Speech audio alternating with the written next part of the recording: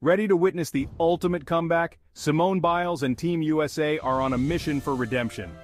At 27, Simone Biles, the most decorated gymnast in history, has secured her spot on the U.S. Olympic team for Paris 2024. Despite a few slip-ups at the trials, Biles dominated the competition, finishing ahead by more than 5.5 points. And the crowd? They gave her a standing ovation. The women's team, which clinched gold in 2012 and 2016 fell short in Tokyo grabbing silver after Biles withdrew.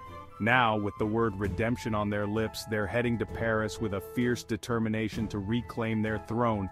Biles says, we have a lot of weight on our shoulders to prove we're better athletes. And let's not forget the men's team.